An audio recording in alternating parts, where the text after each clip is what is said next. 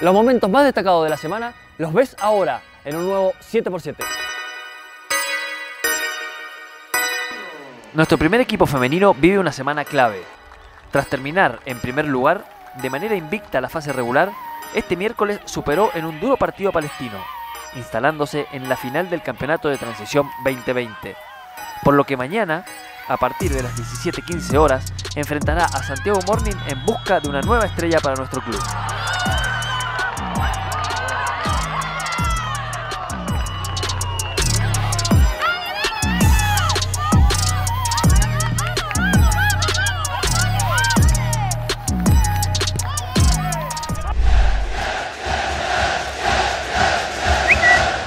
Hola Sebastián, ¿cómo vas?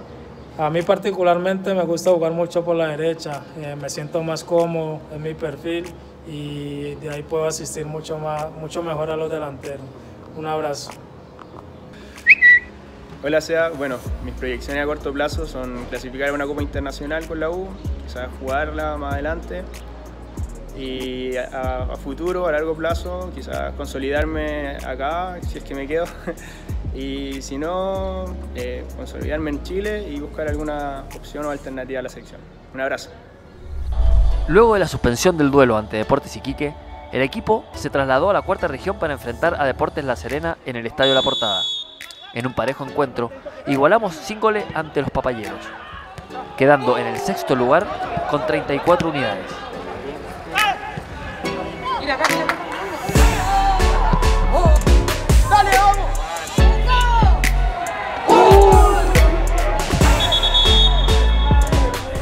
Porque tú te pones con el apoyo y el grito de gol al equipo, esta Navidad tarjeta líder BCI se pone con el 40% de descuento hasta el 24 de diciembre en la tienda oficial del Club Universidad de Chile. Tarjeta líder BCI, por ti, todo.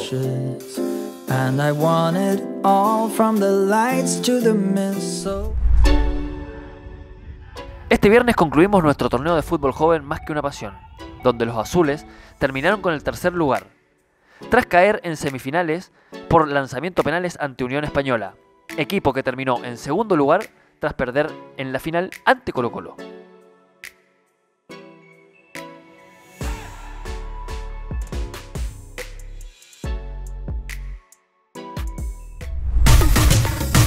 La gran novedad de esta semana fue el lanzamiento de nuestra nueva camiseta de cara a la temporada 2021, con la que junto a Adidas quisimos homenajear la incondicionalidad de nuestros hinchas, con un diseño que mantiene el mismo color azul y presenta como novedades las líneas blancas en el hombro y franjas oscuras que recorren de un extremo a otro de manera diagonal.